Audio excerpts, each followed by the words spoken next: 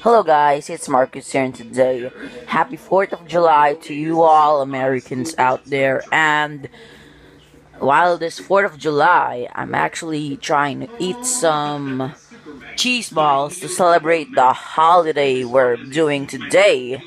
And yeah, celebrate it with your family or your friends or maybe just by yourself. I'm doing it by my family, so you guys can do it as well. And yeah, um, so yeah, I love the land of the free, the home of the brave, USA. So yeah, I just want to celebrate this awesome holiday it's 4th of July, and it's kind of awesome how this holiday works as the one that practically we celebrate for our freedom of independence. So yeah, so I hopefully.